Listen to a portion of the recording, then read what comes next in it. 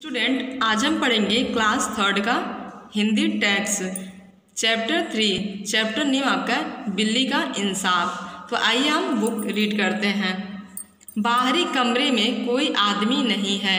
वहाँ मेज पर मिठाई से भरा हुआ एक डिब्बा रखा है। तभी एक बंदर कमरे में घुसता है। बंदर, चारों ओर देखकर, अरे वाह, मेज पर मिठाई का डिब्बा। यहाँ तो कोई रोकने वाला भी नहीं। चलो डिब्बा उठाता हूँ। बाहर किसी पेड़ पर बैठकर मज़े से खाऊँगा।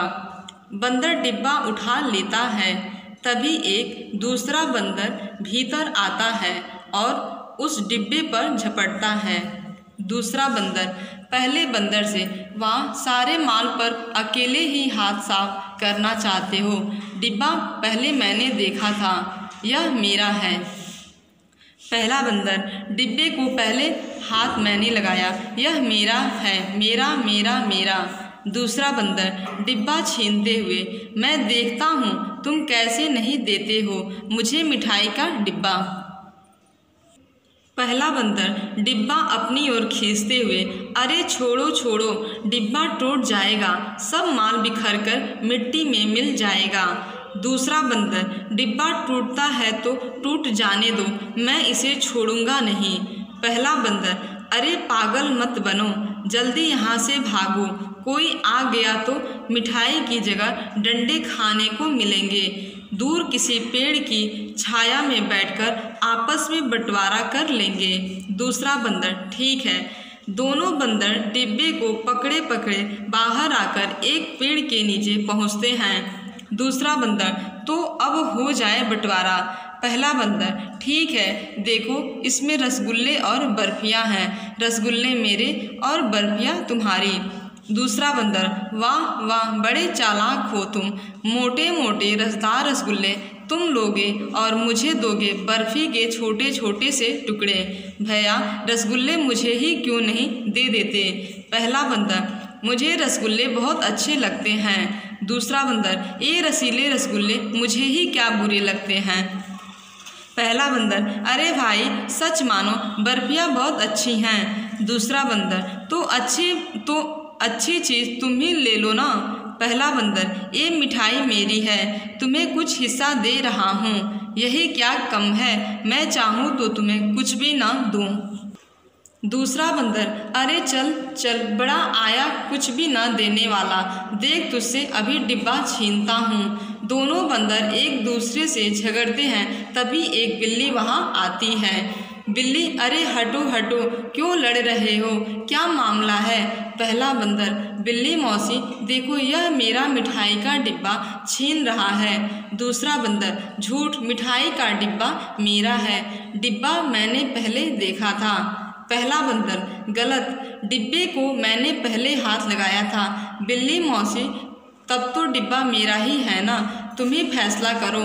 दूसरा बंदर, चलो मौसी से ही फैसला करा लो। जो मौसी कहे, वही ठीक। बिल्ली, मन ही मन खुश होकर। पहले बंदर बिल्लियों के झगड़े सुलझाते थे। अब हमारी बारी है। चलो तुम दोनों का झगड़ा, तुम मुझे निपटाना ही पड़ेगा। दोनों बंदर खुश होकर, आप कितनी अच्छी हैं बिल्ली मौसी, बिल्ली अच्छा इधर लाओ मिठाई का डिब्बा। दोनों बंदर, यह लो डिब्बा। बंदर बिल्ली को डिब्बा देता है, बिल्ली डिब्बा खोलती है। बिल्ली, देखो, एक, दो, तीन, चार, पाँच, छः, सात, आठ, नौ, ये हैं नौ टुकड़े बर्फ़ी के, एक को मिलेंगे चार दूसरे को पाँच। दोनों बंदर एक साथ। वाह, यह कैसा इंसाफ है। दोनों को बराबर हिस्सा मिलना चाहिए। बिल्ली, कुछ सोचकर हम्म लो बन गई बात। दोनों को बराबर हिस्सा मिल जाएगा। बिल्ली, बर्फ़ी का एक टुकड़ा अपने मुँह में डाल लेती है। बिल्ली, वाह वाह, बहुत बढ़िया है बर्फ़ी। पहला बंदर हाँ हाँ कोई बात नहीं। अब मुझे मेरा हिस्सा दो। बिल्ली मिठाई के डिब्बे के ऊपर मिठाई के चार चार टुकड़े अलग अलग रख देती है। बिल्ली, अब उठाओ अपने अपने सामने का हिस्सा। पहला बंदर मिठाई को देखकर, मेरे टुकड़े तो छोटे छोटे हैं। दूसरा बंदर, मेरे टुकड़े तो और भी छोटे हैं। बिल्ली, फिर तो तराजू की ज़रूरत पड़ेगी। उधर देखो, उस दुकान पर खाली बैठा हुआ दुकानदार ऊँग रहा है। दोनों दौड़कर जाओ और तराजू ले आओ, फिर दो मिनट में बंटवारा हो जाएगा। दोनों बंदर उस दुकान की ओर लपकते हैं। वहाँ पहुँच देखते हैं कि दुकानदार जगा हुआ है। वे छिप जाते हैं। थोड़ी देर बाद दुकानदार फिर बैठा बैठा सोने लगता है। वे फ़ौरन तराजू उठाकर बिल्ली की ओर दौड़ते हैं। पहला बंदर पास पहुँच कर यहाँ तो बिल्ली मौसी दिखाई नहीं, दिखाई ही नहीं देती। दूसरा बंदर अपनी आँख मलते हुए, अरे, बिल्ली ही नहीं, यहाँ तो मिठाई का डिब्बा भी नहीं, डिब्बा दिखाई नहीं देता। पहला बंदर, मारे गए, हमारी मिठाई लेकर चालाक बिल्ली गायब हो गई। दूसरा बंदर, एक कागज़ उठाकर, यह कागज़ कहाँ से आया? देखो, इस पर क्या लिखा है? पहला बंदर पढ़ते हुए लिखा है, भोदू राम बंदरों अब नया जमाना है। अब झगड़े का फैसला बंदर नहीं, बिल्लियाँ करती हैं। मैं चली, अब मिठाई मेरी और झगड़ने का काम तुम्हारा। मेरा मोटा पेट बर्फ़ी और रसगुल्लों का सही फैसला कर देगा। दोनों बंदर बैठकर रोते हैं।